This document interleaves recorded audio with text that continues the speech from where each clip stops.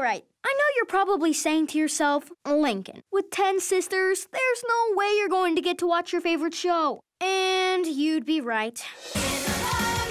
Bobby, only 12 messages today? I thought you cared about me. I actually just wrote a new poem called Ventilate. Inside the wall, I choose to be alone. If I ever get stuck, please listen for my moan.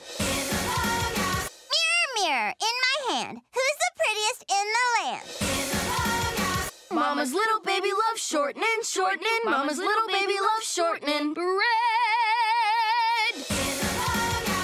Well, if you get a treat, I want a treat. Yeah, I want little princess pies. I want blood pudding. I could re-up on my sodium bicarbonate. And I want dog biscuits.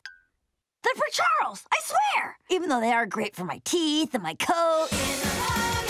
What did one plate say to the other? Lunch is on me. Clyde and Lori sitting in the tree, or there's no room for a dumb Bobby. Woo! Factoring in sleigh speed, time zone changes, and reindeer bathroom breaks, it's scientifically impossible for the so-called Kris Kringle to deliver gifts to the approximately 1 billion qualifying children. As you can see, X equals no stinking way. Woohoo! It's New Comic Wednesday, and there's no better way to read comics than in my undies. Okay, I think we're ready. Just gotta set the timer and everybody say cheese. Cheese. Actually, that's pretty perfect.